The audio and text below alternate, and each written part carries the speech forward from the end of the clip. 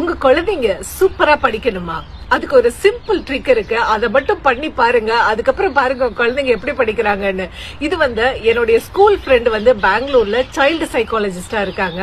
அவங்களோட ரீசெண்டா பேசிட்டு இருக்கும்போது சொன்னாங்க அவங்க கிட்ட தெரப்பிக்காக வர்ற குழந்தைங்களோட பேரண்ட்ஸ் 90% பர்சன்ட் எல்லாருமே சொல்ற கம்ப்ளைண்ட் என்ன தெரியுமா? குழந்தைங்க சரியாவே படிக்க மாட்டேங்கிறாங்க அப்படிங்கறது தான் அதாவது இன்டெலிஜென்ட்டா இருக்காங்க ஆனா படிக்க உட்கார மாட்டேங்கிறாங்க அப்படிங்கறது தான் மெயின் கம்ப்ளைண்ட் இப்போ இருக்கிற மாடர்ன் ஃபேமிலிஸில் பார்த்தீங்கன்னா குழந்தைங்க படிக்காமல் இருக்கிறதுக்கு படிப்பை கெடுக்கிறதுல ரெண்டு முக்கியமான விஷயம் இருக்குது இது வந்து ரொம்பவே சிம்பிளான விஷயம் தான் யோசிச்சு பார்த்தோம் அப்படின்னா ஆனால் வந்து இது குழந்தைங்களுடைய பிரெயின் டெவலப்மெண்ட் பிரெயின் ஃபங்க்ஷனிங்கில் ரொம்ப பெரிய பாதிப்பை உண்டாக்குது.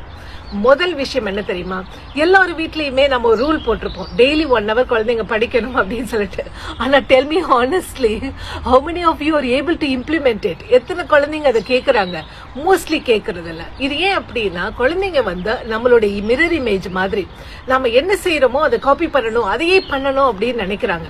இப்போ குழந்தைங்களை ஒன் ஹவர் படிக்க சொல்லிட்டு நாம வந்து டிவி பார்த்துட்டோ இல்லை கிச்சனில் சமையல் பண்ணிட்டோ இல்லை ஃபோனில் ஃப்ரெண்டோட பேசிட்டோ இருந்தோம் அப்படின்னா they want to do the same thing they just want to imitate us இதுக்கு சொல்யூஷன் என்ன தெரியுமா? அதுக்கான பிரச்சனை என்ன? ரீசன் என்ன அப்படின்னா they don't want to be left alone இதுக்கு ஒரே சொல்யூஷன் என்ன அப்படின்னா அவங்களோட சேர்ந்து உட்காந்து அந்த ஒன் ஹவர் நாமளும் படிக்கணும். நாம வந்து ஒரு கதை புக்கு வச்சுட்டு ஒரு நாவல் வச்சுட்டு இல்லை ஒரு நியூஸ் பேப்பர் வச்சுட்டு ஒன் ஹவர் அவங்களோட படிங்க.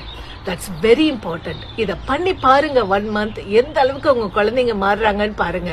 இதை வந்து குழந்தைங்க ஒரு பத்து பதினோரு வயசு வரைக்கும் நீங்க பண்ணீங்கன்னா போதும். அதுக்கப்புறம் they learn to do things on their own ரெண்டாவது விஷயம் பாத்தீங்கன்னா இந்த பேக்ரவுண்ட் டிவி நாய்ஸ் அப்படின்னு சொல்லிட்டு ஒரு பெரிய பிரச்சனை இருக்கு பல வீடுகள்ல. இப்ப நிறைய வீட்டில் பாத்தீங்கன்னா டிவியை உட்காந்து பாக்குறாங்களோ இல்லையோ பெரியவங்க டிவியை ஆன் பண்ணி வச்சிருவாங்க பேரண்ட்ஸ் அது பாட்டுக்கு டிவி ஓடிக்கிட்டு இருக்கோம் அவங்க பாட்டுக்கு வேற ஏதாவது வேலை பண்ணிட்டு இருப்பாங்க.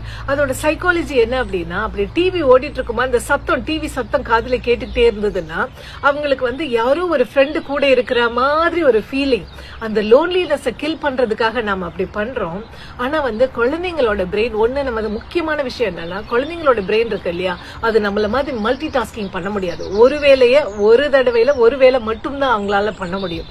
சோ புக் படிக்கிறதா இல்ல டிவி சத்தமா which is more exciting TV தான் எக்ஸைட்டிங் இல்ல. சோ அதுலதான் அவங்க கான்சென்ட்ரேட் பண்ணுவாங்க.